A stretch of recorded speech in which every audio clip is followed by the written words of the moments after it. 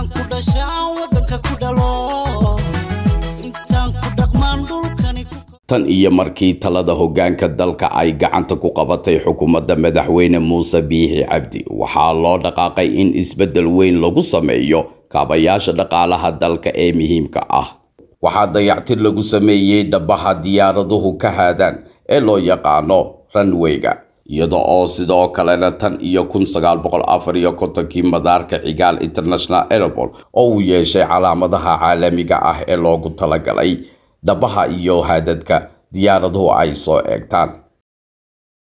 Waxaa la dhisay laguna soo kordhiyey madaarka cigaal qaybta v i b da oo si gaara loogu talagalay in ay ka soo degaan ufuudda caalamka ah iyo madaxda qaranka iyada oo loo qalabeeyey hab casri ah waxaa dhidibada loo taagay mishiin casri ah kaasi oo shaqaalaha madaarka u fudeediye in ay shandadaha iyo alaabaha kale ee ka soo degaya madaarka si fudud ay u maamulaan si ay meesha uga baxdo in ay lunto alaabta dhoofaha ama soo dego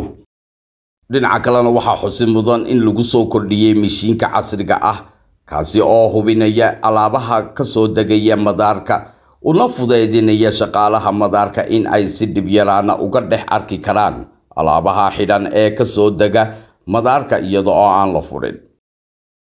Waxaa la dhisay xafiisyo cusub oo loogu talagalay baananka iyo hay'adaha dowladda. Xafiisyadaas oo u fudeydinaya muwaadiniinta iyo ajaanibta in ay si fudud u helaan adeegyada gaarka ah ee looga baahan yahay madaar caalami ah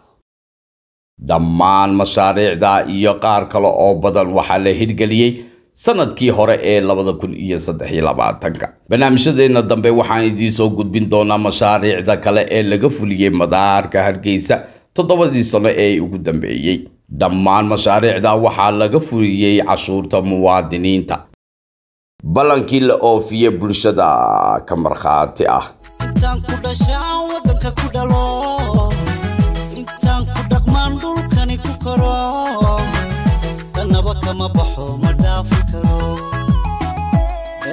daragaqani baan dhexdiis ku ahay